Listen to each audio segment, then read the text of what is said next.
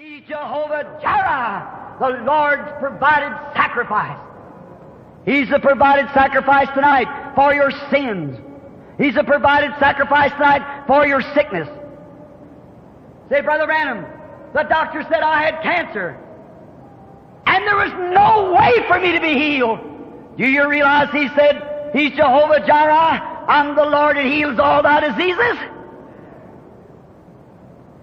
You say, Brother Branham, I've been so sinful, I believe I've crossed the separating line. No, you haven't, or you wouldn't be here tonight.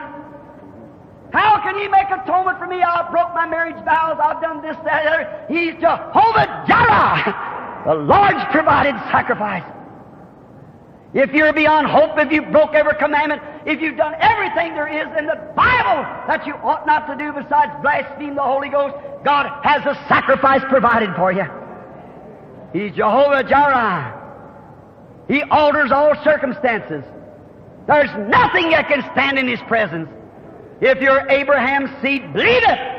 And if you're Abraham's seed, you do believe it.